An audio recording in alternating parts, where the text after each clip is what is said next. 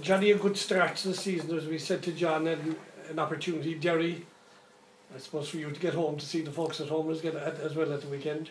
Well, that's it. I suppose my dad will be there anyway, my brother. Um, they'll come across. My mum doesn't go to the games. She's actually never seen me play football before. She gets too nervous, so she won't be there. But I'm sure there'll be friends and family and that up there. Um, look, it's going to be obviously last week was a good start, as you say, good solid start. I think second half particularly we played we played very well.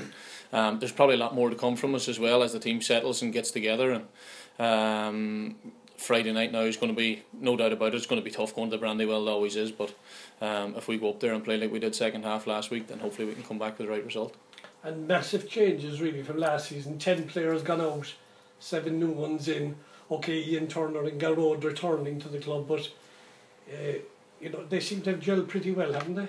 I would say so. I think particularly probably the trip away in pre-season helped us a lot up to Drogheda as well. You know when you're away in a hotel with lads for a length of time, you know you have to talk to everyone that's there. You end up in people's company and that, and it was brilliant for us all, I think. Um, but they have settled in very well.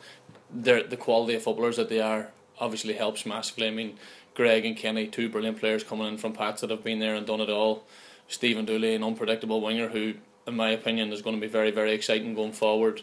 Turner, as you say, coming back, Gearóid and Seanie started great as well. So I think, um, you know, as it goes forward, hopefully we're going to be exciting to watch and, um, you know, fingers crossed we can keep progressing week to week.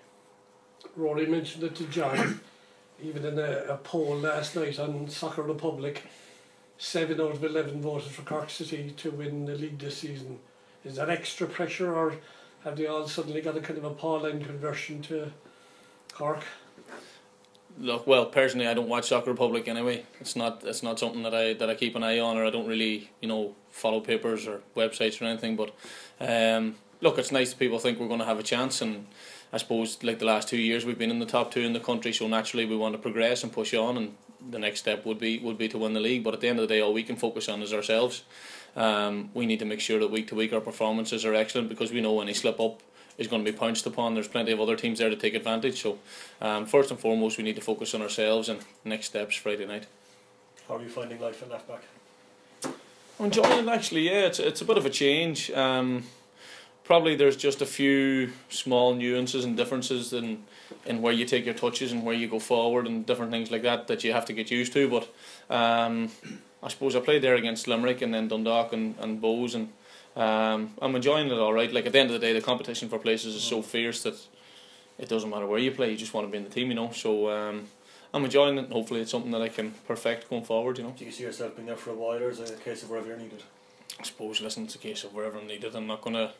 I'm not going to complain about anywhere that I'm put. You know, it's this is football, and you want to be in the team. Um, but like I said, it'd be nice to get a run in, in one position and, and try and perfect it as best I can. You know. Confidence must be high after those wins over Dundalk and Bohs, I'd imagine. Yeah, I'd say so. You can see it in training. You know, there's a nice little buzz, and um, I think, as I say, the players that we've brought in, the quality that we've got now, the the five sides in training are frantic and hectic, and the quality is very, very high, which is great. Like it's what you, it's what you want every day when you come to training. So you know, we're looking forward to Friday night, but at the end of the day, we're under no illusions. It's going to be a tough challenge up there. It always is in the Brandywell. And, you know, if we're not if we're not on our game, we won't come away with three points. Simple as that. The long journeys, and does that affect you, or is it a bit of a myth? I'm sure I'm well used to it anyway, going up that way, you know. Um, but no, I don't think it does affect you. I mean, we'll go up the night before and get together, and we'll be well rested on Friday. Then we'll be ready to go. Um, obviously, the journey back's probably less nice. You know, getting back at six in the morning's never nice. The sun's starting to come up again. You know, it's not it's not ideal, but you just rest up as best you can on the way back and recover all day Saturday. And, you know, we'll be ready to go then come Sunday. Just like Rory said there, John, the, recent results, you know, the Dundalk winning Bohs the other night, does that sort of reinforce your own expectations over the season? The start you've made? Um, for a better start, really. You couldn't have asked for a better start, probably, but that's all it is. It's a start, and it's something that we have to build on. You know, we know what we're capable of when we do that, and I suppose we've shown, we've shown in patches what we can do over the last couple of weeks.